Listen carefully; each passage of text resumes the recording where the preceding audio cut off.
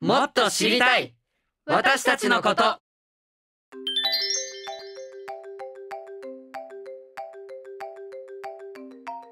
さて今回はアイヌ民族について学びますがそれと同時に日本のことも学んでいきますよ。え？日本のことは学ばなくてもいいですか？まあまあそれはこの映像の最後にもう一度話しましょう。それでは今回参加してくれる4人の仲間を紹介します。みんな同じ年で高校1年生。まずはゆうとさん。私の近所に住んでいる高校生で両親は和人。相談事があるといつでも私のところに来て話をしていきます。毎回ジュースを4杯も飲んでね。和人って聞き慣れない言葉ですか？アイヌ民族以外の人たちを呼ぶときに使います。例えば本州四国九州をルーツとする日本人のことです。次はリナさん。ユートさんの友達でお父さんがアメリカ人で先祖はイギリス人。お母さんは和人。髪や目の色の違いを気にしているけど4人の中では最も明るくてみんなのお姉さんのような存在だそうです。次はゆいさん。ゆいさんもゆうとさんのお友達。お父さんはアイヌ民族でお母さんは和人。最近お父さんはアイヌ民族ということを知らされたそうです。最後は五木さん。五木さんもご両親がアイヌ民族です。五木さんは子供の頃から自分はアイヌ民族だと知っていたようです。仲良し4人組の中ではみんなのまとめ役と聞いています。最後に私の紹介をさせてください。私はゆうとさんの近所に住んでいるおじいさんです。名前は三郎。アイヌ民族です。たまに物知りおじいさんとも呼ばれています。私は今は札幌に住んでいますが若い時はいろいろな国で暮らした経験があります。アメリカ。カナダブラジルチリニュージーランド。南アフリカにも3年いました。最後は台湾で2年暮らしましたね。もちろん仕事の関係です。だからいろいろな国や地域の友達ができました。そうそう今日はゆうとさんが友達のルーツに関わる相談があるということでうちに来ることになっています。どんな相談かは知りませんが私でお役に立てるのなら嬉しいですね。来ました来ました。それでは始まります。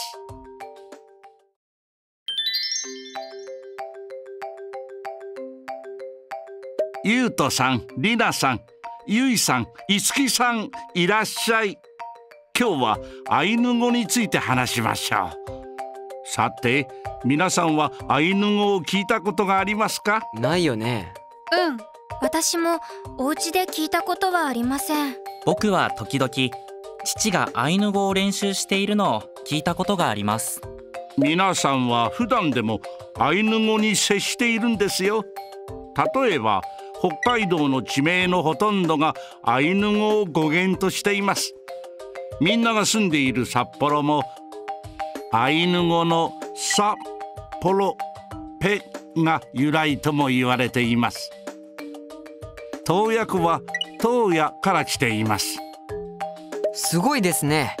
他にはどんなものがありますか？クリスマスに活躍するトナカイはアイヌ語でトゥナフカイかわいいラッコはラッコ。これらもアイヌ語が由来ですよ。アイヌ語は日本語の方言のような言葉なんですか？アイヌ語は日本語とは異なる言葉です。単語も違うし文法も違いますよ。またアイヌ語の中にも北海道や千島樺太など地域ごとに方言があります。アイヌ語を聞いてみたいそうだね。じゃあ私がアイヌ語で話してみましょう。いらんからって三郎くねはネピーたちエアシカイ国クネルウェソモネヤッカポンのポンのパテックアンコロイタカリクシアンキレクスネナピリカのヌーアエンコレヤン。なんて言ったのですか？こんにちは。私は三郎と言って言葉が上手なわけではありませんがほんの少しだけ私たちの言葉で自己紹介しますから聞いてください。と言いました。アイヌ語を初めて聞きました。本当に違う言葉なんですね。サブローおじいさんどうしてアイヌ語は聞かれなくなったんですか？私もお父さんがアイヌ語を話しているのを聞いたことがありません私も勉強して覚えたのですよ。辛く思うかもしれませんがなぜ私たちがアイヌ語を話さなくなったのか説明しましょう。今から150年ぐらい前明治政府は北海道を日本の土地として確保しようとしました。その時に明治政府はアイヌ民族に対して日本語を使うことそして文化や風習についても和人と同じようにすることを求めました。それから150年アイヌ語はほとんど使われなくなりアイヌ民族の宗教や地域に伝承されてきた歴史など大切なものを受け継ぐことが難しくなりました。そんな歴史があるのですね。アイヌ語はなくなってしまったのですか？ユネスコでは消滅の危機にある言語を5段階に分けています。最も悪いのは消滅です。五木さんアイヌ語はこの5段階のどこだと思いますか？重大な危機か危険ですか？アイヌ語は極めて深刻な危機に分類されています。それは僕たちも自分ごととして考える必要がありますね世界ではすでに250以上の言語が消滅しています。極めて深刻な危機の言葉は600以上もあるのです。今では日本政府も復興活動を支援するようになりました。明日から英語を使ってくださいと言われたらどのように生きていったらいいのかわからなくなります。でも明治政府はそれをしちゃったんですよねアイヌ語の話し手がほとんどいないため復興には意味がないという人もいます。しかし世の中がアイヌ語を認めれば話し手は増えます。アイヌ語の復興は学問ではなく言葉を使う権利を守るために必要なのです。私たちはなぜ日本語を使っているのかな？そんなことも考えてしまいます。多分この国は日本語を使う環境しか用意されていないからじゃないかな。それではアイヌ語の復興について今どのような活動がなされているかを紹介しましょう。北海道地区ではアイヌ語ラジオ講座という番組が20年以上も前から毎週放送されています。そんなに前からあったんですか？ここから話しましょう茅野茂さんという人がいました。この方はアイヌ文化や言葉がなくなってしまうことを危惧し北海道の二部谷というところに仲間たちと資料館を作ったり子どもたち向けにアイヌ語教室を開きアイヌ語の復興活動を行ってきました。茅野さんのそのような活動があってアイヌ語ラジオ講座が始まったのです。その他にもアイヌ語を復興させようとする活動はたくさんあります。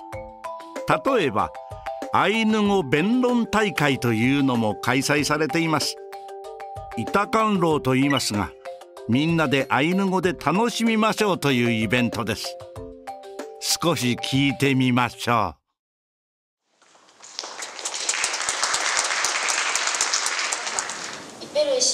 コシネクス年方から約荒井をかしころヤネクスやるけれ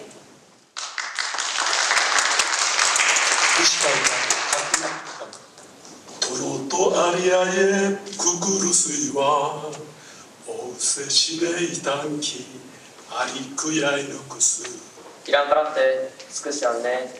いれんかやしカードいきりょかカード示さしある。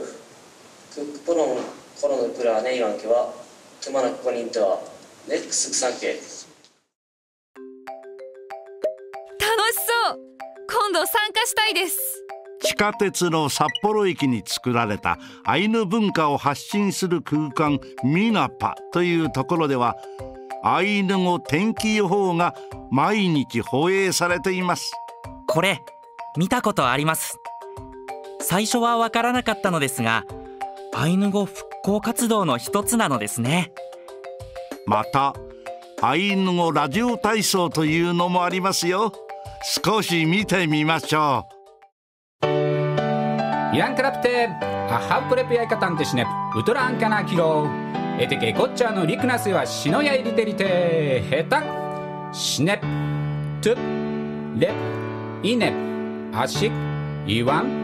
エテケカエケマカリ。テヤン楽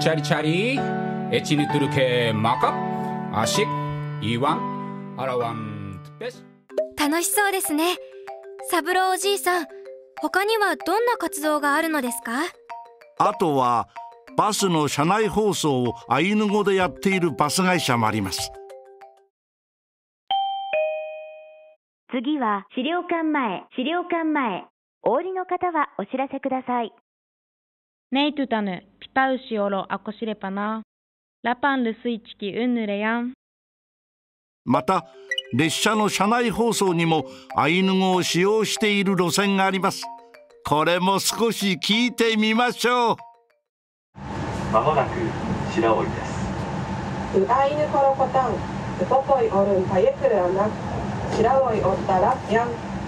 ただいまの放送はアイヌ語で。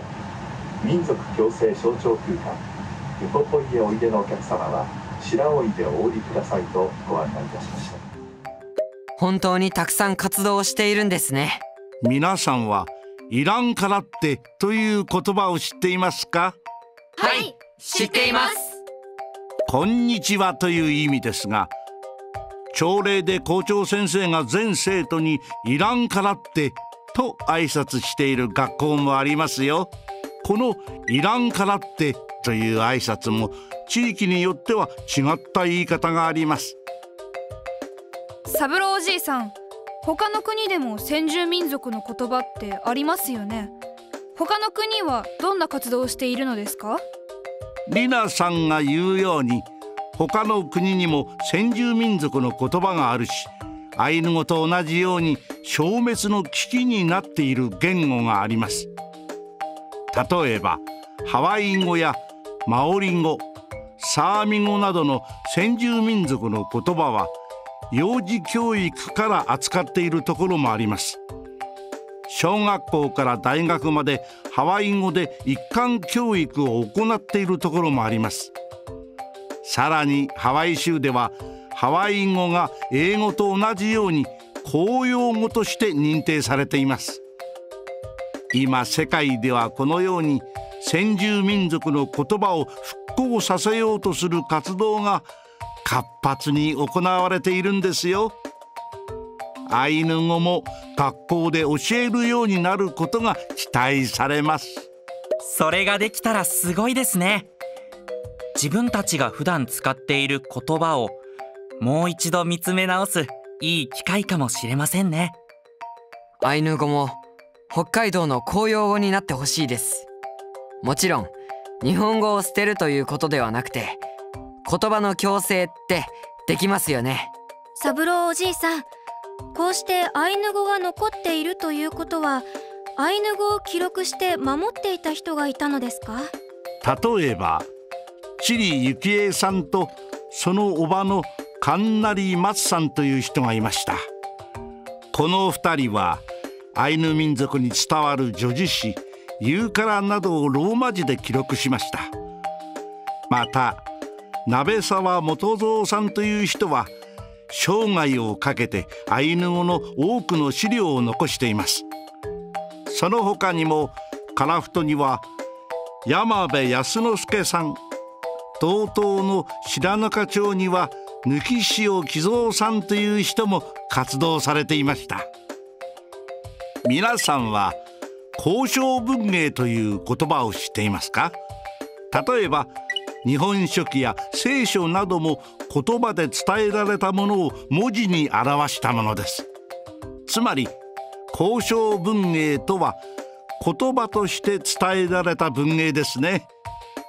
アイヌ民族にも伝えられているお話が数多くあり神話のようなものや英雄のお話。またアイヌ民族の生き方などを伝える話などがあります。一つ見てみましょうか。ペナンペアンバナンペアニーネシラニケシネアンペタパナンペピスタサナクス。ポロエタスペアニーネアン。ヒネエタスペアエコムイナセコロハベアナクス。ホクレエンコムイセコロエタスペハワニクスオラノ。アコムイペコロイキアンコロオックストゥアエアアエアヒネオラウン。やくんカムユカルシネプクエクツネナ。リトゥナアイヌモおしりリトゥナチヌカンルスイ。リトゥナシネアントタリトゥナシシリムカリトゥナペトラチリトゥナパヤサイケリトゥナススニタイリトゥナホマコウツ昔このような物語やお話をいろりのそばや人が集まった時に語りそれを聞いた者がさらにその後も語り伝えてきたのですよ。僕はインターネットでアイヌの物語を見たことがあるけど自分でも共感する話が多いですね。そうですね。今は本もあるしインターネットでも見られるし手軽にアイヌ語の物語を知ることができますね。時間のある時に触れてみてはいかがですか？三郎おじいさんにアイヌ語のことをいろいろ聞いて歴史や文化世界の動きそして私たちの生活などいろいろなことを考える機会になりました。アイヌ民族を知り和人を知る。つまりお互いがお互いを知る機会になればいいですね。本当にありがとうございました。ありがとうございました。ゆうとさんりなさんゆいさんいつきさんまた会いましょう。基本情報編文化編現在編も見てみてね。